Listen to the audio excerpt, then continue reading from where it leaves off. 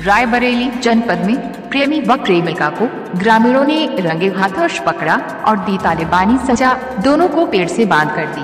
तालिबानी सजा शादीशुदा प्रेमिका से मिलने आया था प्रेमी। प्रेमिका की ससुराल मिलने आया था प्रेमी। परिजनों व ग्रामीणों ने प्रेमी व प्रेमिका को रस्सी से बांधा।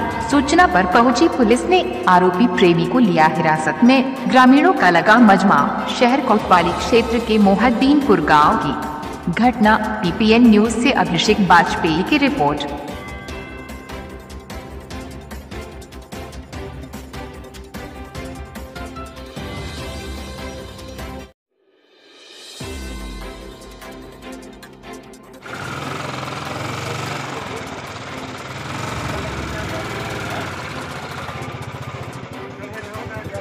Yeah.